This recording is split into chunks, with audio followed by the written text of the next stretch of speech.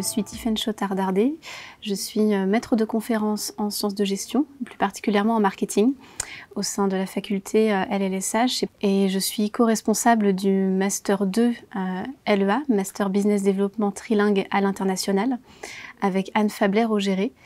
Et donc c'est ensemble qu'on porte le projet de transformation du Master 1 et 2 euh, en approche par compétences, euh, jusqu'à une mise en place effective euh, a priori pour la rentrée 2026. Alors d'abord parce que c'est un des objectifs du prochain contrat. donc on a souhaité s'emparer de ce sujet le plus tôt possible pour être dans une démarche progressive. Et c'est une approche qui nous a semblé euh, intéressante par rapport à un besoin qu'on a pu identifier chez nos étudiants, parce qu'effectivement euh, ils apprennent plein de choses, mais euh, en LEA on est dans une formation qui est pluridisciplinaire et ils ont parfois du mal à appréhender tout ce qu'ils ont pu voir et ce qu'ils sont capables de présenter à des futurs recruteurs sur le marché du travail. Donc l'idée, c'est aussi de leur donner des clés le plus tôt possible. On aborde la formation non plus tant par le prisme des enseignements, mais plutôt par les compétences transversales qui vont, euh, euh, être développées. Euh, les étudiants prennent mieux conscience des savoir-faire et des savoir-être qu'ils développent. Ensuite, pour l'équipe pédagogique, c'est aussi un moyen de davantage nous mettre, nous, en relation avec les compétences recherchées sur le marché du travail. Et puis de collaborer davantage parce qu'on est euh, dans un fonctionnement qui est très cloisonné aujourd'hui finalement.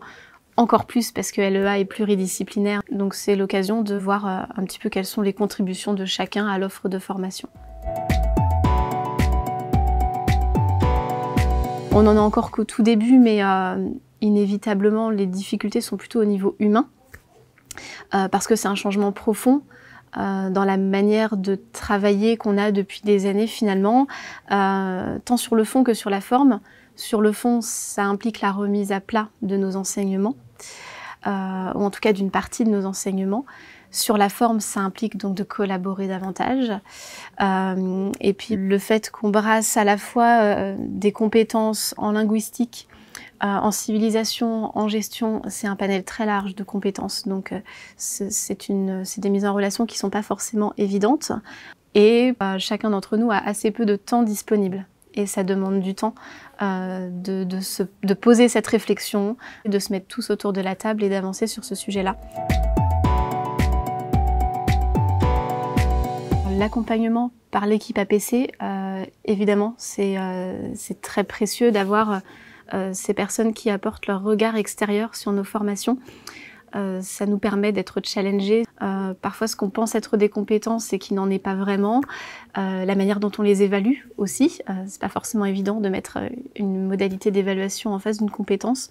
Ensuite, le, fait de proposer un cadre rassurant aux collègues qui n'ont pas encore commencé à, à, rejoindre l'équipe, les équipiers APC au sein d'un projet, euh, effectivement, ça peut leur permettre euh, d'être rassurés sur le fait que c'est une démarche pas à pas, progressive.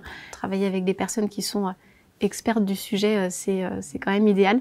Et puis, ce qui pourrait être utile aussi au sein de l'université, sans doute, ce serait une mise en commun des outils, des ressources qui ont pu être développées par chaque formation, une sorte de guide des bonnes pratiques en fait de ce qu'on de ce qui peut euh, nous aider à, faciliter cette transformation.